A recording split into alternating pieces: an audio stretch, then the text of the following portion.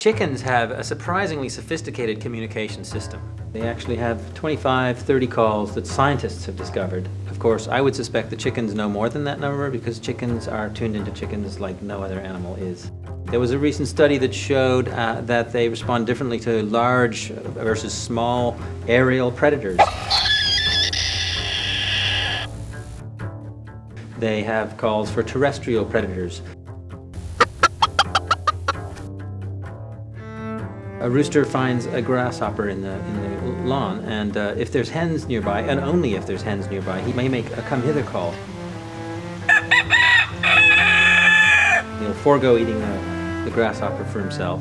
Hen knows the call. She comes running. He points it out. It looks very gallant. And uh, if she finds it, feeds the grasshopper, well, what's in it for him? Well, of course, he's probably buying credit for maybe a mating opportunity next week.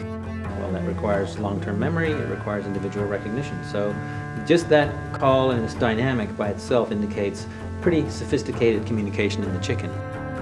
One of the behaviors that you never see in a chicken in a battery cage is perching. But if you go to a sanctuary where you've taken chickens who've been bred for generations in captivity and they've been rescued, and suddenly they have trees available to them, up they go.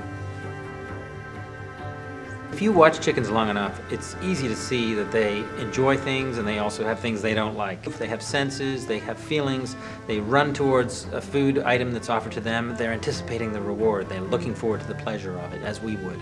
Similarly, they hear a, an alarm call, they run away, they're terrified, they want to get away from that. They have feelings and thoughts much like we do.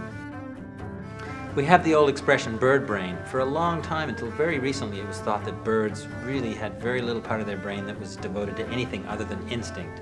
But about five years ago, a group of scientists came out saying we need a whole new terminology for the bird brain because actually they have a different part of their brain that's, that's got all the complexity of thinking and feeling that mammals have.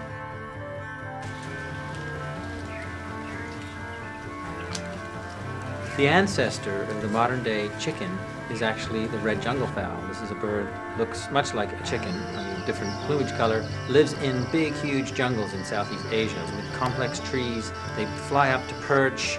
Uh, they are wary of predators and they're scratching around in the ground for food of various sorts.